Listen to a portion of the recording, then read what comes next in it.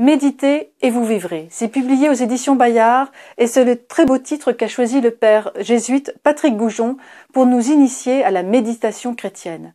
Car nous le découvrons dans ce livre, la méditation n'est pas l'apanage des traditions d'Orient, loin de là.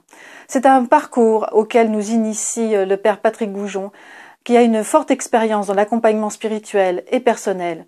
C'est un ouvrage qui nous initie pas à pas à cette entrer dans ce face-à-face, ce face-à-face avec Dieu, un face-à-face qui peut faire peur bien souvent.